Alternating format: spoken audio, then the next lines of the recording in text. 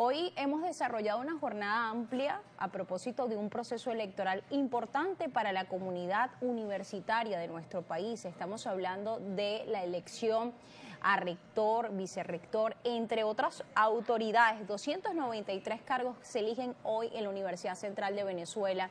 Y no solo nuestro equipo de Globovisión está desplegado en Caracas, también en Aragua. Por ejemplo, el decano de la Facultad de Ciencias Veterinarias ha invitado a la comunidad ucevista que todavía no ha decidido participar en este proceso, pues acercarse a la institución. Hacemos un contacto con nuestro corresponsal en la entidad, José Merchán, para que nos amplíe.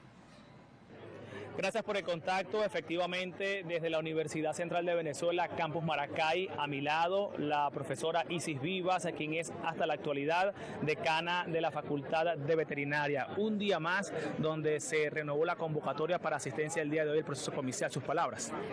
Hoy nuevamente estamos aquí, la Facultad de Veterinaria, demostrando que queremos nuestras elecciones, nuestra renovación de autoridades y hoy 9 de junio estamos aquí de nuevo.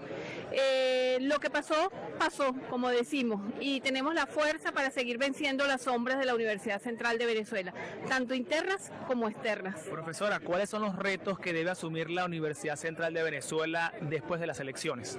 Mira, después de las elecciones, quienes vayan a asumir los diferentes cargos que hoy ostentan, que son casi 293 cargos entre consejos de facultad, consejos de escuelas, decano, autoridades rectorales, consejo universitario, la universidad requiere mucha innovación, mucha renovación, mucho ingenio, pero dentro de todo lo que es la academia.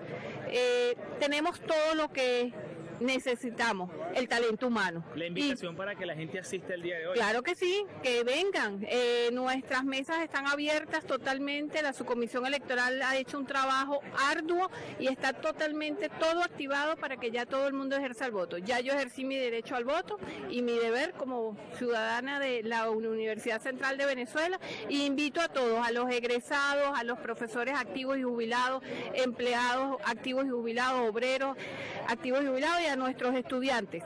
No dejemos que nadie decida por nosotros, decidamos nosotros qué queremos para nuestra universidad.